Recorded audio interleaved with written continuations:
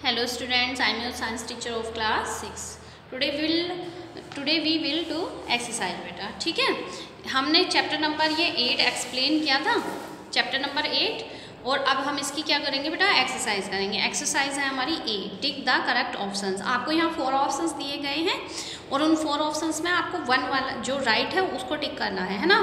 First है ए hydrophytes lives in जो hydrophytes होते हैं, मैंने लास्ट वीडियो में एक्सप्लेन किया था हाइड्रोफाइट्स के बारे में, जो हाइड्रोफाइट्स किन को कहते हैं, जो वाटर में रहते हैं।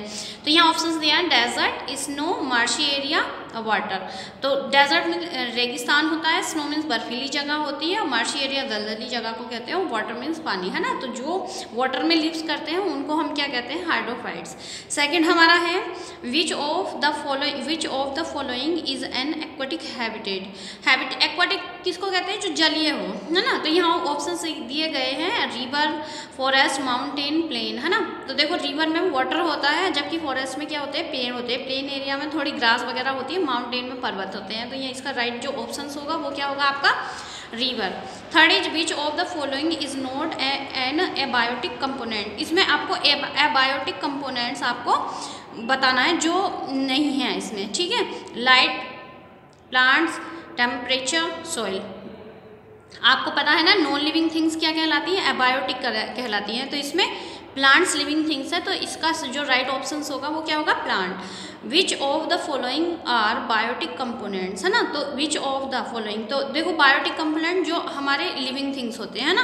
कंज्यूमर लिविंग थिंग्स में आते हैं प्रोड्यूसर भी और डिकम्पोजर भी। तो ऑल ऑफ़ दीज इसका करेक्ट ऑप्शन होगा। Which of the following are producer तो इसमें प्रोड्यूसर कौन से होते हैं? जो मतलब प्रोड्यूसर का मीन समझ रहे हैं ना आप? जो अपना भोजन मतलब क्या करते हैं? सेल्फ प्रिपेयर करते हैं। उनको हम क्या कहते हैं? प्रोड्यूसर तो यहाँ पर ग्रीन प्लांट ऐसे होते हैं जो अपने फ़ूड को क्या करते हैं? सेल्फ प्रिपेयर करते हैं। ओके बेटा? तो इसका जो राइट ऑप्शन होगा, वो क्या होगा? ग्रीन प्लांट्स नेक्स्ट एक्सरसाइज हमारी है fill in the blanks fill in the blanks तो यहाँ पर आपको फ़र्स्ट ऑप्शन में स्पेस दिया था। Is a place where an organisms live in an फ्लोरेसिस तो मतलब एक uh, इसमें आपका जो ऑप्शन आएगा वो क्या आएगा? हैबिटेट है ना? हैबिटेट मतलब uh, निवास स्थान एक ऐसी जगह होती है लिविंग ऑर्गेनिज के लिए जहाँ पर वो अच्छी तरीके से फलता फूलता है ना? सेकंड है animals and plants give on land have तो वो क्या कहलाते हैं? Terrestrial T E double R E S T R I A L terrestrial habitat कहलाता है।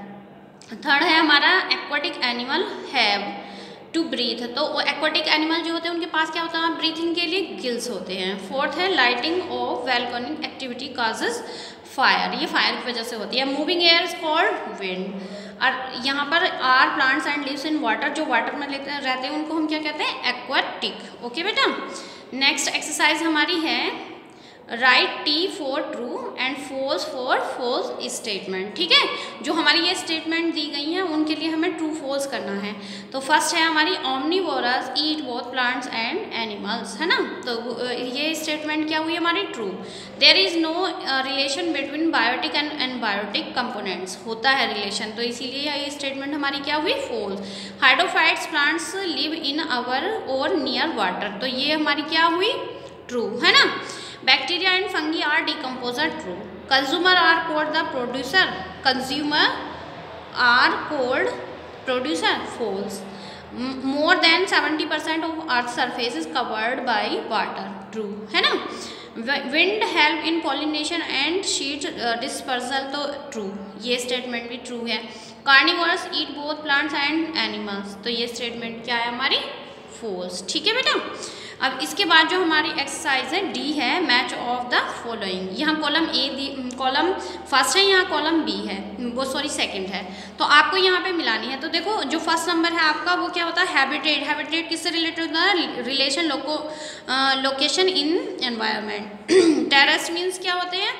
लैंड क्योंकि वो वहाँ पर रहते हैं. एक्वा मीन्स क्या होते हैं?